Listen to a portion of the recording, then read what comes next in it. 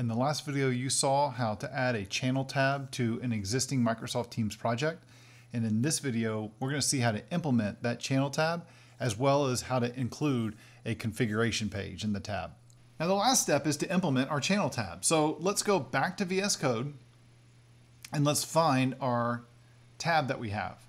So what I'm to do is let's add in a couple other controls. So like I need an input and input props. Those are two more uh, import statements that we're going to need. And I'm also going to create a new interface. So my interface I'm going to have is export interface. We'll call this the iconfig math tab state. And this is going to have a math operator, which is just going to be a string. It's going to have an operand uh, A, which is a number, operand b, which is also a number, and the result, which is a string. So I have an existing use state. Let's go through and let's make another state uh, thing here, another state entry or state property. So I'm going to add the following statement. This is going to define a variable to contain um, the state uh, for our, our current tab. So I'm going to say con, uh, const math tab state and then set math tab state to follow that same convention.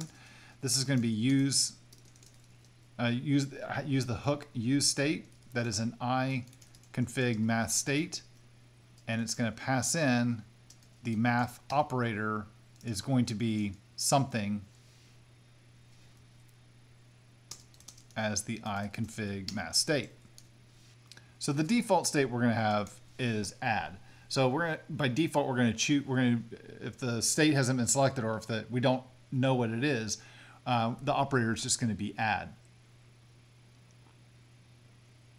Now let's implement the channel logic. So let's look for the effect, uh, our current effect that depends on the Microsoft Teams context. And that is this one right here. So we can see that because it's passing in uh, the context. Now, what we want to do is we want to update this to do some new stuff. So we want to leave this set entity ID to be equal to the entity ID that's passed in, but I also want to do the set math tab state. I also want to pass in and say, look at the current state, and I want to use, we're going to pass in the current state, and we're going to have our math operator context that entity, the entity ID dot replace the math wherever you see math page, and we're going to replace it with nothing. So I want to strip off the math page property that we see there. Uh, and this is going to be as I config math state. And that's two closing right there. And then we have that. Okay, cool. So now everything's in good shape. Now I want to also go ahead and add in a couple event handlers uh, to our class. Now these event handlers, let's go ahead and add these in. I'll explain what they do. So, so these three different event handlers, they do a couple different things. So the uh, change handler A and change operand or ch uh, change operand A and change operand B, both of these are going to run when our uh, when the user enters in some text uh, for our input boxes that we're going to add in just a minute. So and what they're doing is they're going to update the state uh, of the um, of our app. Um, the next thing that uh, we have here is when the operand changes. So when someone changes from, you know, addition to subtraction or something like that, we want to we want to change that up. Um, when the operand changes, we're going to redo all of our results here. So we can see here that we got a couple different string results that we're generating, and we're passing in those string results into um, our state for um, the actual app. Now, the next thing to do is to implement the channel page uh, user interface. So let's find our return statement, which is down here at the bottom.